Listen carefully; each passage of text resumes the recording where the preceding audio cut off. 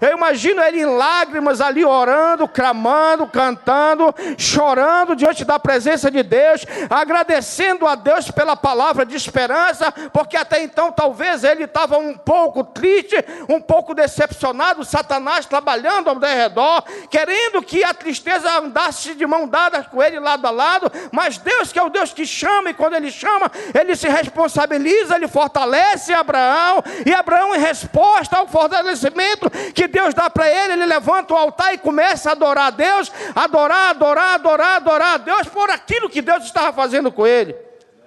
E depois de adorar a Deus, o que ele faz agora sim? Se Deus falou comigo, se Deus me prometeu no capítulo 12, me fez chegar até aqui, me faz passar por essa circunstância, agora fala comigo, renova a aliança da promessa. Eu levanto o altar para ele, eu não posso ficar aqui, eu tenho de me mover, porque ele disse que tudo isso ele ia me dar. O que Abraão faz? Ele mover-se. E, e, e, versículo 8: mover-se dali para as montanhas da banda do Oriente, de Betel e armou a sua tenda, tendo Betel ao ocidente, Ai ao oriente. O que é que ele faz de novo ali? E invocou o nome do?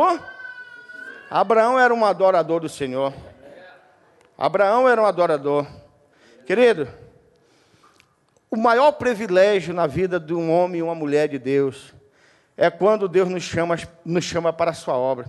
Independente se o nosso ministério é de cooperador, se é de diácono, se é de presbítero, se é de evangelista, se é de missionário, se é de pastor, não interessa, é o privilégio, é, o privilégio é ser chamado para fazer a obra de Deus. Eu me lembro que quando eu fui chamado para ser cooperador da igreja onde eu congregava, meu irmão, você não sabe a alegria que eu tinha de ficar com a chave da igreja. Eu era que abria e eu que fechava a igreja, eu ficava na porta todo o pampa, recebendo as pessoas, ali todo no terno e gravata. Para mim era uma alegria muito grande levar as pessoas, sentar as pessoas, todo mundo saía, eu era o último que saía.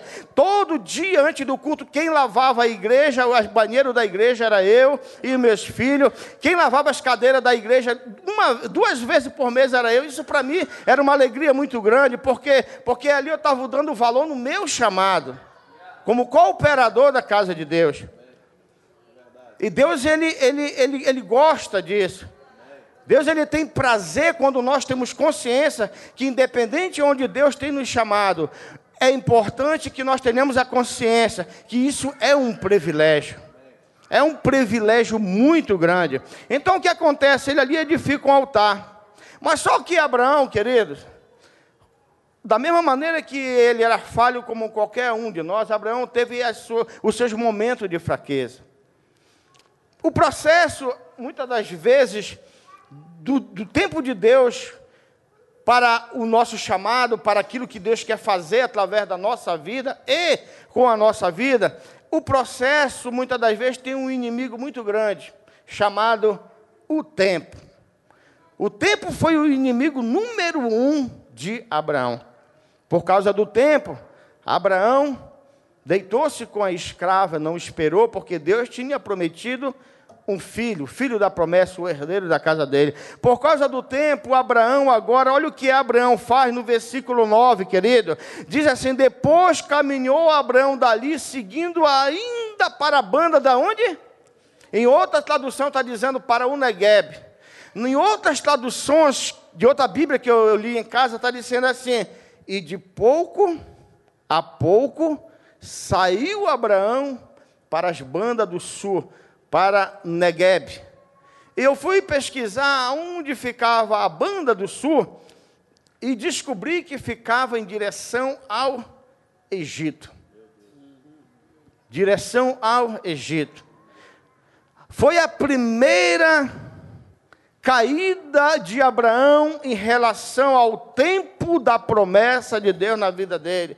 Ele caminhar pouco a pouco para o Egito. Há um grande problema também nos dias de hoje, quando nós não temos paciência de esperar o tempo de Deus no nosso ministério. E aí, muitas das vezes, por nós não esperar o tempo de Deus no nosso ministério, nós muitas das vezes podemos correr o risco de sair do lugar onde ali Deus falou conosco, onde nós levantamos altar e adoramos, e aí por não ter paciência de esperar o tempo de Deus, porque no tempo de Deus o diabo trabalha na vida do crente, foi no tempo de Jesus Cristo começar o seu ministério, que ali o Espírito Santo move ele para o deserto, para ali o tentar, no tempo dele começar o seu ministério, ele também correu um risco, foi no tempo, ele foi tentado no tempo da promessa, por quê? Porque a promessa estava depois do deserto. Quando Jesus sai do deserto, ele começa o seu ministério aqui na terra. Ele passou pelo processo do tempo.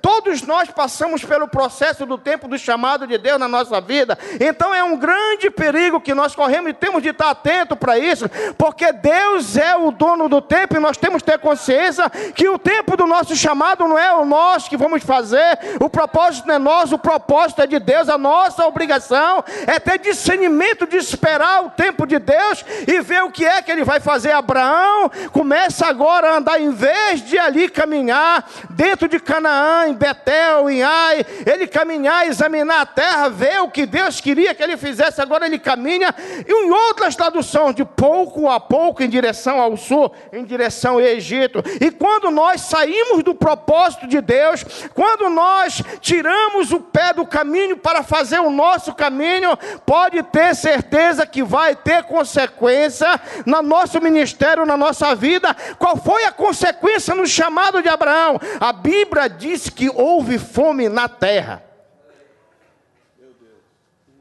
Sabe o que isso quer dizer? Muitas pessoas passam por problemas, por provação, isso chama-se fome na terra. Porque muitas das vezes sai do propósito do tempo de Deus. E acontece coisas que traz, traz, traz coisas terríveis para a sua vida espiritual. Isso envolve a sua vida secular. Isso pode envolver o seu, o seu casamento. Isso pode é, envolver relacionamento é, entre os irmãos dentro da igreja. Porque quando nós saímos do propósito de Deus, do caminho do propósito de Deus, vem fome vem prova, vem tribulação, vem consequência na vida de um, uma pessoa que ela é chamada de Deus. E Abraão, vindo à fome, a Bíblia diz que ele desce para onde? Nós conhecemos o processo do Egito. Nós conhecemos o que aconteceu ali no Egito. Nós sabemos o que foi que aconteceu quando ele fala aqui da sua esposa, é, dizendo que era irmã dele e tudo isso. No final, Deus tem de intervir na situação para que ali a promessa de Abraão continuasse no futuro.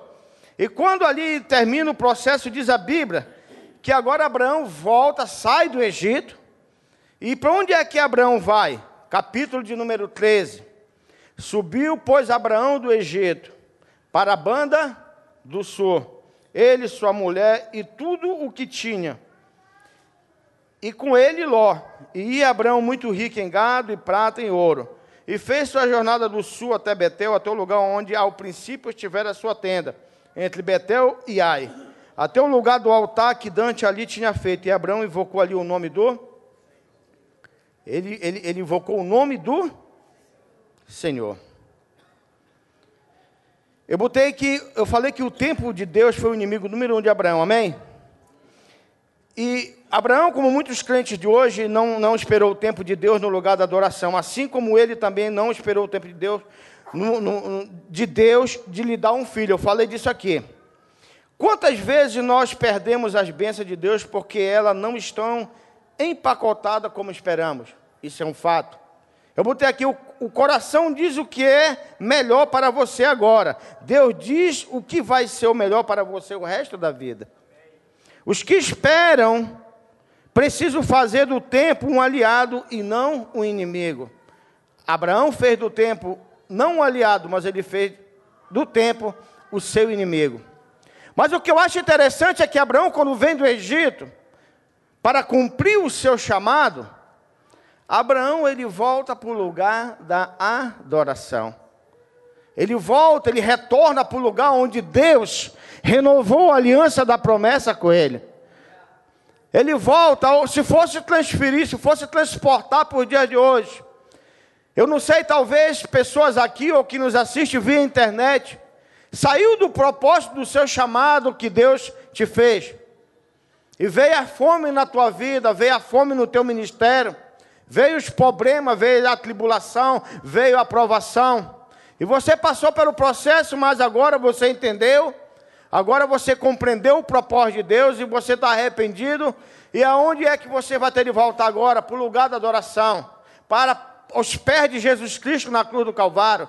Eu imagino que quando Abraão volta ali da terra do Egito, ele volta em lágrimas, ele volta em prantos, ele volta quebrantado do Egito, por quê? Porque ele sabia que ele tinha saído do propósito do seu chamado, ele sabia o que ele não tinha esperado o tempo de Deus e ele tentou cumprir o seu próprio tempo, mas agora que ele passou o processo, ele reconhece, eu creio, que Deus teve de intervir para que sua mulher, Sara, não fosse ali é, é, é, ser um instrumento para que, se não cumprisse o propósito de Deus, ele reconhecendo agora, ele faz uma viagem de volta, retornando pelo caminho do sul, agora para o lugar onde ele tinha levantado um altar, e ali ele tinha adorado Deus antes dele sair para a terra do Egito, e diz a Bíblia que quando ele chega lá, ele volta para o mesmo lugar da adoração. Eu não sei, talvez, qual é, qual é hoje, agora, nesse momento, né, a tua situação diante do teu chamado, mas eu quero aqui, como profeta, profeta de Deus nessa noite dizer uma coisa: a cruz de Cristo ainda está diante da tua presença,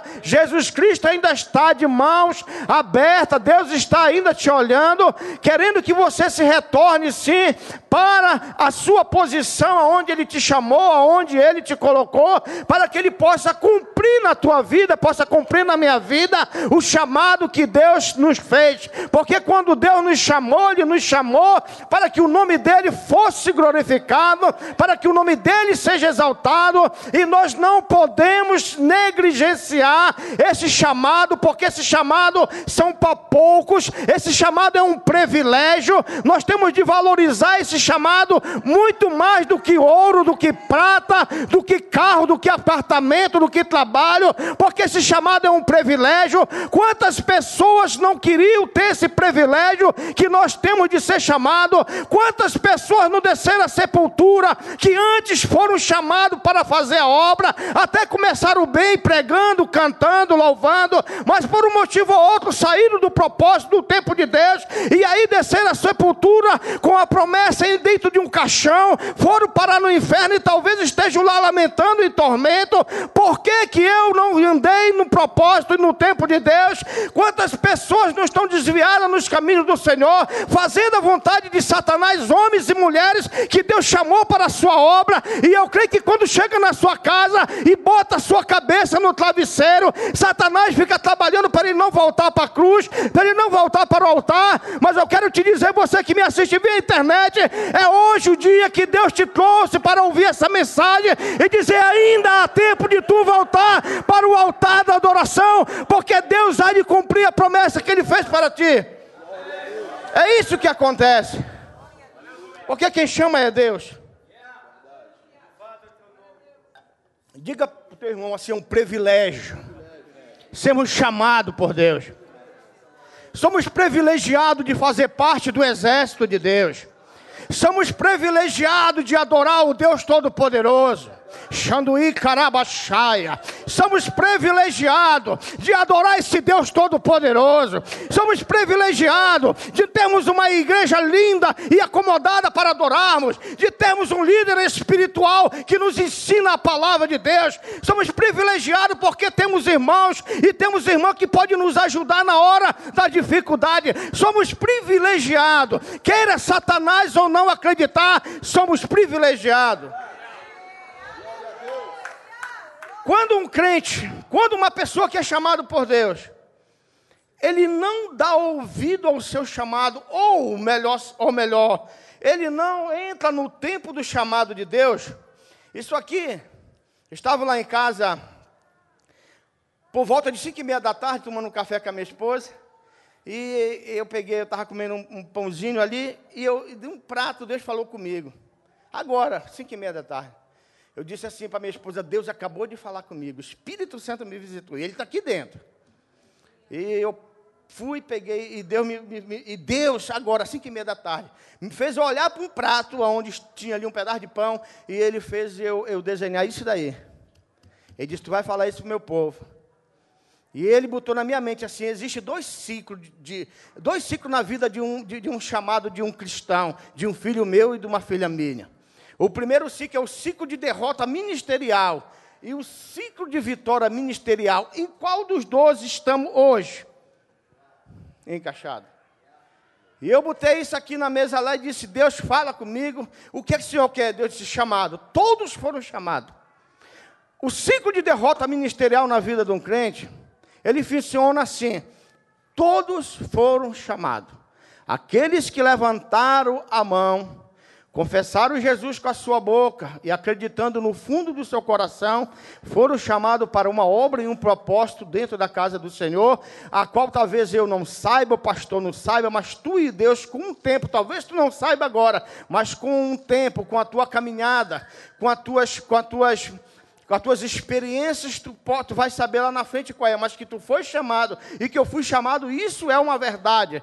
Nós somos chamados e todos que são chamados e, e estão na presença de Deus é porque eles ouviram o chamado de Deus. Então o que acontece? A pessoa é chamada, eu estou falando isso no ciclo de derrota ministerial. Quando uma pessoa ela negligencia o seu chamado, ela é chamada, ela ouve, mas quando ela ouve, ela negligencia o seu chamado, ela não dá ouvido, ela não está nem aí para o chamado que Deus começa a fazer sua própria vontade, o seu próprio desejo, o seu próprio querer, não quer saber de glorificar, porque o nosso chamado tem um propósito aqui na terra, glorificar e exaltar o nome do Senhor. O que acontece? Quando a pessoa ela negligencia o seu chamado que Deus o fez, acontece o que? Não um ciclo, a pessoa fica estacionada, ela estaciona espiritualmente, ela não vai, ela não cresce, ela não amadurece, ela não tem testemunho para contar, por quê? Porque ela negligenciou o seu chamado, ela estacionou o seu chamado,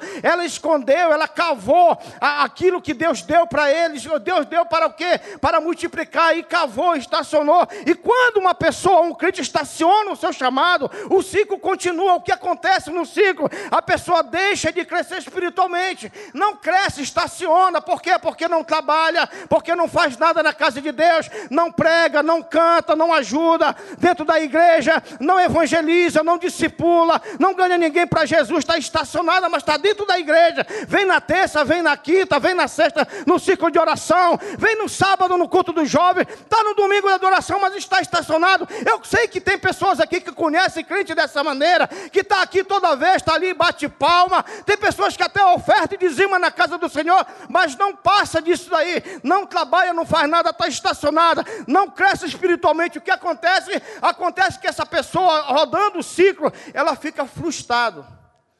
E o pior de tudo, muitas das vezes tem pessoas que entram no ciclo de derrota ministerial porque ela não ouve, negligencia, ela estaciona, não cresce espiritualmente e ela vai ficar frustrada. Por quê? Porque Deus, quando chama, ele, ele, ele promete, ele capacita e a pessoa ouviu fica frustrado por causa da sua própria negligência. E aí, o que acontece? Muitos começam a colocar culpa, muitas das vezes no pastor, na igreja, que a igreja não ajuda, que os irmãos não têm amor que os irmãos não têm paciência, ah, porque não me coloco ali, ah, porque eu estou lá na igreja, mas não me chamam para nada, é porque, porque estacionou um preguiçoso espiritual, e aí fica frustrado, e aí ele fica magoado, e aí ele fica triste dentro dele mesmo, porque porque a culpa foi dele mesmo, porque a igreja está aí, os departamentos estão aí. Eu creio quem é o líder de departamento aqui, que não fica feliz quando chega uma pessoa para se disponibilizar para trabalhar. Eu creio que todos os departamentos ficam, eu, como vice-líder do Kevin, que é o líder do evangelismo,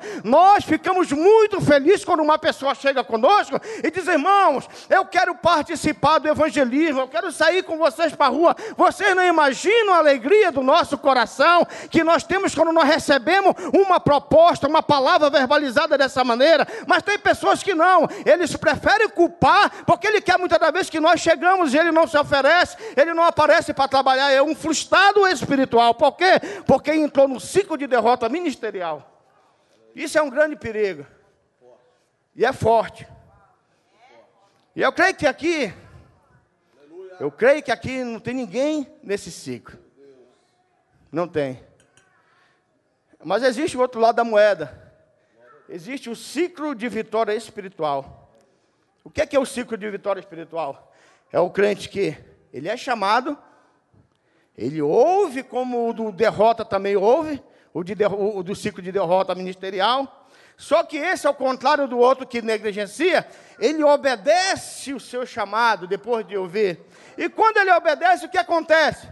Ele cresce espiritualmente. Por quê? Porque ele vai estar envolvido na obra, porque ele vai estar envolvido no trabalho ministerial. E quando ele está envolvido no trabalho ministerial, ele cresce, ele amadurece, ele tem testemunho para contar. Pessoas que talvez lá fora precisa de uma palavra, ele já passou pela experiência. Então Deus usa ele para chegar e dizer: Olha, o caminho é esse, eu já passei por isso aí, eu trabalhei com isso daí, eu vi situação semelhante a essa.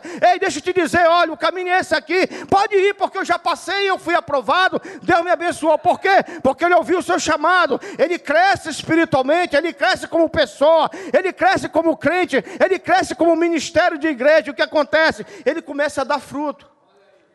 É o ciclo. Ele começa a dar fruto dentro da igreja. Ele começa a dar fruto. E quando ele começa a dar fruto, ele começa a glorificar o nome do Senhor. Porque esse é o propósito do chamado do crente, glorificar o nome do Senhor. É o ciclo de vitória financeira. Dá fruto, glorifica. Dá fruto, glorifica. Quem não dá fruto, fica frustrado. E quando fica frustrado, fica a um passo de se desviar dos caminhos do Senhor. Fica a um passo de sair da igreja. Mas eu creio que nessa noite Deus me trouxe aqui para trazer essa palavra rema para a igreja. Para você que me assiste via internet. Eu não sei qual é a tua situação no teu chamado. Eu não sei o que é que tu está passando, a prova que tu está passando no teu chamado. Deus Deus já te prometeu e talvez ainda não é o tempo dele te exaltar, de ele trabalhar na tua vida, mas é, deixa eu te dizer uma coisa: espera o tempo de Deus, ouve os teus chamados, trabalha, obedece no teu chamado, porque tu vai crescer, porque tu vai dar fruto e tu vai glorificar o nome do Senhor. Só quem crê glorifica o nome do Senhor. Abraão, ele reconheceu que ele deu uma vacilada no seu chamado. Mas a maior virtude de um, de um homem uma mulher que tem o chamado é ele reconhecer aonde ele caiu. É ele reconhecer aonde ele falhou. Porque a pior coisa é a pessoa saber que ele saiu do plano, do propósito da chamada de Deus na sua vida e ele não levanta uma palha para mover a situação, para mudar o ambiente da situação a qual se encontra. Mas eu quero aqui orar. Eu gostaria que os irmãos ficassem de pé. Eu quero fazer uma oração. E nessa oração eu vou pedir a Deus, como ministro nessa noite da palavra do Senhor, que te fortaleça assim como ele fortaleceu Abraão. Que te fortaleça da mesma maneira que ele fortaleceu aquele homem da qual o seu chamado resultou na vinda de nosso Senhor e Salvador Jesus Cristo, e é por ele que nós estamos aqui nessa noite, é por ele que nós sentimos a presença do Espírito Santo, é por ele que nós estamos a, para adorar, para glorificar e para exaltar. Por isso eu quero orar e te peço, fecha os teus olhos nesse momento, porque eu quero, Pai, no nome do teu filho amado Jesus Cristo. Eu quero te glorificar e te exaltar na beleza da tua santidade pela vida dos meus amados e queridos irmãos da igreja de Cristo para as nações aqui no Canadá. Eu quero te glorificar pela vida de cada filho teu nessa noite, de cada filha tua que está aqui, dos teus filhos que ali nos assistem via internet, espalhado nos quatro cantos dessa terra,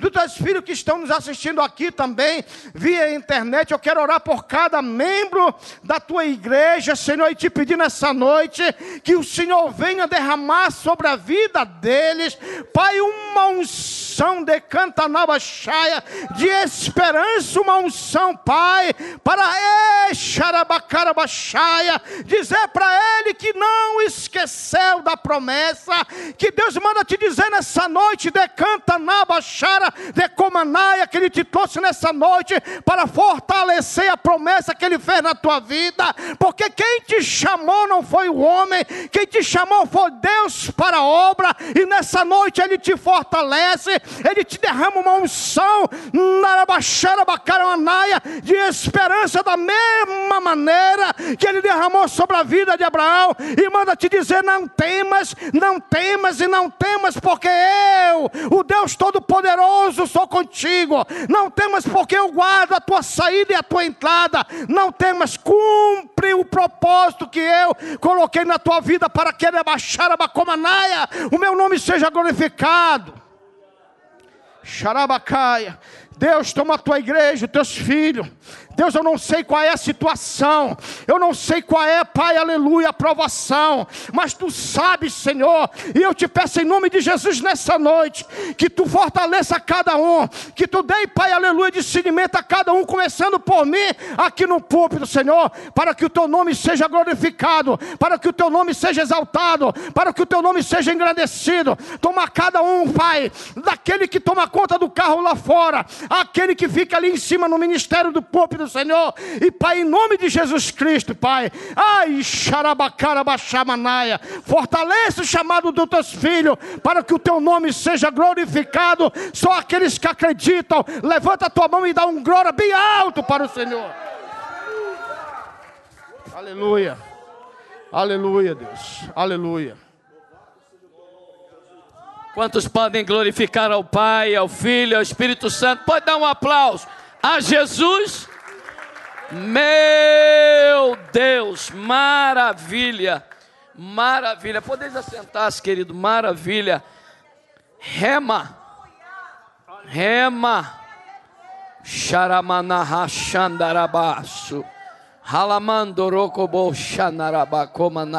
Aí está, a aula é dada, a palavra é ministrada. Agora a escolha é nossa. A escolha é nossa, a escolha é tua, a escolha é minha. Deus fala, agora a escolha é nossa. Em que ciclo nós queremos? De vitória ou de derrota? Qual ciclo? Muito forte, muito forte, muito forte. A escolha é nossa, querido. Igreja é um negócio muito sério, ministério é um negócio muito sério. Ei, ministério não se trata de império, é reino. Império é próprio, é o que eu acho, o que eu quero, meu momento, meu tempo, é aquilo que eu acho, o que eu penso, tem que ser. Agora, quando é reino, é o que ele acha, o que ele pensa, o que ele quer, o tempo dele, é a hora dele. Se não for assim, simplesmente vamos passar por todo esse problema aqui chama-se negligência, estaciona, deixa de crescer, frustrado, e aí por diante. E verdadeiramente a gente, quando está frustrado, está no ciclo de derrota, a gente sempre vai arrumar alguém para culpar. E jamais. Agora, fechando só, não preciso, não preciso adicionar mais nada, porque foi tudo. Eu não preciso adicionar mais nada. Cabeça, tronco membro, princípio, meio e fim. Deu tudo essa palavra. Hum, Quantos aqui foram abençoados? Eu fui. Eu, eu fui muito abençoado, mas muito abençoado. E eu estava falando ali para o presbítero Ney, o, o grande problema aqui, Abraão buscou não, não, buscou não culpar ninguém, simplesmente ele disse: saí do Egito e vou voltar para Betel, onde o Senhor falou comigo. Capítulo 13. Ele disse: Eu vou é voltar, porque aqui não adianta querer ficar culpando. Eu estou entrando no Egito, eu vou, eu vou sair lá do outro, eu vou me afundar. É melhor eu levantar, errei, pequei, vacilei, negligenciei. É, agora é o seguinte: eu vou voltar para onde o Senhor falou comigo, ou seja, voltar ao estado original. Porque senão, querido, Tudo isso vai nos consumir. E a pior coisa não é se perder do mundo, é se perder dentro da casa. O pior é você, sabe, está perdido no mundo. Não, Deus tem misericórdia, vamos orar. Agora, o pior é quando está perdido dentro de casa. Está aí, querido. Eu louvo a Deus, ministrado, fui muito abençoado. Louvo a Deus, obrigado ao nosso Senhor por essa palavra através do Filho de Deus. Está aí. E eu gosto de ver quando cada um desenvolve naquilo que Deus chamou. Desenvolve naquilo que Deus chamou. Uh, maravilha. Amém, amém, amém, amém. Queridos, ah, queremos é, mais uma vez agradecer a Deus por, a, por aqueles que estão conosco, nos visita. Quero o carinho da igreja pela vida do Adriano, sua esposa e seu filhinho que está ali atrás. Vamos dar um aplauso ao Senhor. Queria pedir ali que pudéssemos ali. Não queremos cansar. Não fica constrangido, não, Adriano. Não fica constrangido, não, minha irmã. É que nós queremos sim abraçar você e ser grato. Você veio nos visitar e nós estamos alegres. Tá bom, querido? Quero que você se sinta sempre bem em casa. Sua família é a nossa família. Amém, querido? Queremos dar uns avisos. Olha, aproveitando que, que é, é, o missionário Luiz Cecim terminou de ministrar, e Kevin e o presbítero Kevin e o missionário Luiz Cecim convida a todos, obrigado, querido, a sábado agora, às onze e meia da manhã, se encontrar ali no Brasil Remitense. Ei, eu estava ministrando lá em República Dominicana, inclusive usei o missionário Luiz Cecim. E eu digo, é uma pessoa que não me incomoda em querer pregar. Ele, ele diz, eu tenho a rua, eu tenho a rua, tenho andandas, tenho o Dafre. E eu estava dizendo lá, porque quem quer pregar encontra um lugar. Porque aqui, não é só aqui que se prega. Amém, querido? Lá fora. Tem muito lugar para você evangelizar, fazer alguma coisa e não entrar no ciclo de derrota. Ai, é porque eu não tenho oportunidade. Não tem sim, querido. Sábado agora, quem gostaria de pregar? Temos ali onze e meia na Dandas, com, com ali no, no, no, no, no Brasil Remitência. É que lá não tem microfone. Não. Então, depois, não vem dizer que que somos nós. Não diga que somos nós, que a oportunidade está sendo dada. Começa sem microfone, quem sabe se um dia aparece um. Independente de não aparecer, o importante é você desenvolver a sua chamada. Então, onze e meia da manhã, ali em frente ao Brasil Remitense, ali na Ângela, e você pode falar hoje com Kevin e com o, o missionário Luiz Cecim, para vocês se encontrarem ali, ajudar. Pastor, não tenho muito tempo, dá meia hora. Ah, eu posso dar uma, dá uma. Uma hora. O que, quanto tempo você pode? Faz alguma coisa. Está frio. É só no inverno que tem frio. Não se preocupa não, que no verão é quente. As pessoas dizem, ah, e lá? Perguntaram para mim, pastor, lá no Canadá é muito frio? Eu digo, só no inverno. A gente quer esperar o quê? Se esperar até o quente para fazer alguma coisa. E não esquecer que dia 23 e 24 de novembro, o que, que nós vamos ter dentro de duas semanas? Poderoso congresso do círculo de oração. Vai ser powerful, vai ser forte vai ser poderoso, vai ser maravilhoso. Você não pode ficar de fora e, por favor, traga alguém, traga alguém, em nome de Jesus, traga alguém. Tá bom, querido? Queremos também avisar que estamos precisando de dois homens para fazer parte da peça de Natal. Dois homens, tá bom? Dois personagens para a peça de Natal. Pode falar hoje ali. Pastor Paulo está ali atrás, Silvana está ali atrás também, sabe? E vai ser muito importante. Precisamos que todos se envolvam, em nome de Jesus. Todos se envolvam. E, inclusive, nesse próximo sábado, dia 16, não é isso? Próximo sábado agora, a uma hora da tarde, vai ter aqui na igreja nos, ah, uma grande feijoada. Queridos, fazer uma peça dessa magnitude requer muita mão de obra, requer muito ensaio e requer também muitas despesas. Então você esteja livre se quiser abençoar, ajudar, para que tem luzes, tem cenário, tem um monte de coisa. Mas nós temos duas coisas: ou fazemos, ou ficamos esperando, entendeu? Então, quando dá, e a gente está querendo que dê. Então, no nome de Jesus, você pode convidar alguém, entendeu? Vai ser 15 dólares. Aí tu diz assim, poxa, 15? Não, podia ser 50, 100. Você pode dar 100, pode dar 50. Não, estou falando sério. Estou falando, você pode dar. Porque aqui não é a comida, é a ajuda. Não estou falando do preço de um prato de comida. Não é um prato. Você, você já tem que ver uma vez, quando nós fomos, num, não me lembro aonde, para ajudar, um 100 dólares para poder ajudar, não me lembro o que, que foi. Um, um pratinho de. Foi um, um bifinho, um peito de galinha, um pouquinho de arroz. Aí às vezes a pessoa diz: puxa, 50 dólares ou 30 dólares.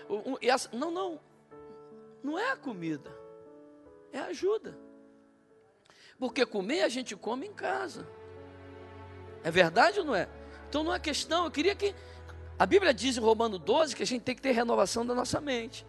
Para a gente entender qual é a boa, agradável e perfeita vontade de Deus. Então, para nós entendermos, a gente, você não precisa vir pagar 15, você pode trazer 30. Ou então, pastor, eu quero, queria ajudar com 60 dólares, vou levar quatro pessoas. Então traz essas quatro pessoas, maravilha, pronto, como os quatro. Sim ou não?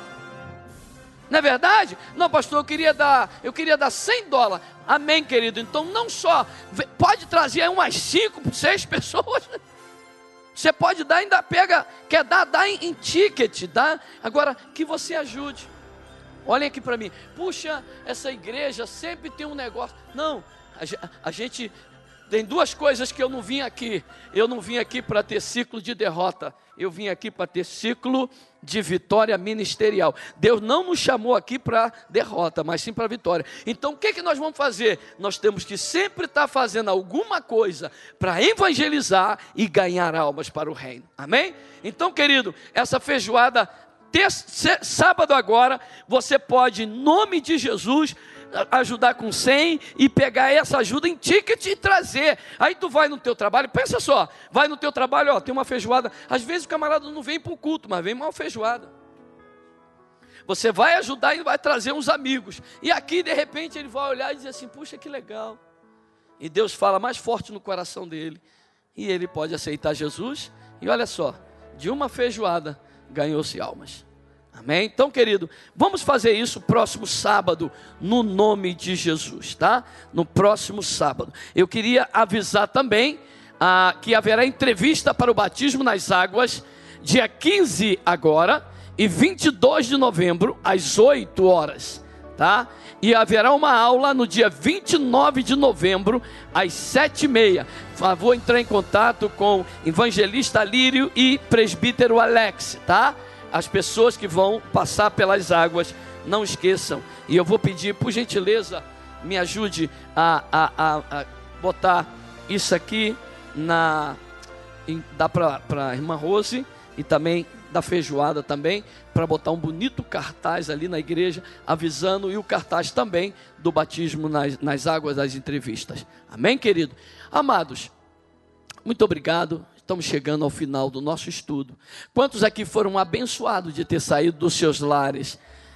Gente, gente, gente, olha, perdeu uma aula dessa, querido. é, é, é, é pedir para repetir de ano. E nós estamos dando o melhor. Uma coisa que o presbítero, o missionário Luiz Cecim viu ali, que as, as ministrações que nós ministramos não é diferente das ministrações que nós ministramos aqui. Só pedimos a Deus para nos orientar e dizer qual a ministração que nós vamos ministrar e que Deus se adapta a ela à necessidade da igreja local. Mas não é nada diferente. E aí ele viu que a qualidade do que é ministrado nessa igreja e o povo lá ficaram. Agora o problema agora é saber administrar Agora quer que a gente vá para aniversário, quer que leve a escola bíblica para o sul do país, quer que vá em fevereiro, quer que vá em abril, quer que vá no final do ano. Então, por quê? Diz, puxa, pastor, sabe? Uma escreveu para mim e disse assim: ó, um dia ainda vou morar aí, me vou a beber aí e vou a ser membro de tua igreja. então, querido, vamos valorizar o que a gente tem. Não deixa cair na mesmice, não, meu amado, para não virar religiosidade. Quando a gente deixa cair na mesmice, a gente não aprecia o que come, cai na religiosidade. Amém, querido? Nesse momento, nós vamos ficar de pé. Chegou a hora de nós sermos abençoados com um ciclo de. Por quê? Nós temos chamado, nós ouvimos, nós obedecemos, crescemos espiritualmente, damos fruto e glorificamos a Deus com nossos dízimos e ofertas. E a Deus seja honra, glória e louvor. E eu queria pedir, por gentileza, Pastor José João, fica ali, abençoando. Saia do seu lugar. Em nome de Jesus, obrigado, Senhor. E venha trazer o teu dízimo, venha trazer a tua oferta e venha ser abençoado em nome de Jesus. Venha ser abençoado com um ciclo de vitória. Eu te abençoo como um ciclo de vitória sobre tua vida, sobre tua casa, sobre teu futuro te abençoo com um ciclo de vitória, querido. Te abençoo com o futuro, um ciclo de muita vitória sobre a vida de vocês. Que a honra, a glória, o louvor, a majestade do Senhor seja contigo sobre sua vida. Ciclo de vitória, de bênção, de conquista, para a honra e glória do nome de Jesus. Amém, queridos. Bom é servir ao Senhor. Bom estar na presença do Senhor. Vamos orar. Vamos consagrar. Presbítero Ney, por gentileza, vem aqui consagrar os dízimos e ofertas. Louvado seja Deus, estenda a tua mão para cá. Amado Deus e querido Pai, Senhor, nós te louvamos porque essas portas se mantêm abertas. Senhor, te louvamos porque ouvir, Senhor, uma mensagem como essa nos edifica, papai. E nós te agradecemos, papai, porque isso tudo é fruto de pessoas que têm servido a ti fielmente, com dízimos e com as ofertas. Pai, nós te agradecemos e consagramos, papai, tudo aquilo que foi depositado aqui, Pai, para a honra e a glória do teu nome. E que estas portas, papai, venham estar sempre abertas, papai, para a pregação e a propagação do teu evangelho. Assim nós te agradecemos e te louvamos por todo aquele que contribuiu, papai. Abençoa também aquele que não contribuiu porque não pôde. Abre portas, pai. Abre celeiros, papai, para os teus filhos e assim nós já te agradecemos e te louvamos, Pai, em nome de Jesus. Amém.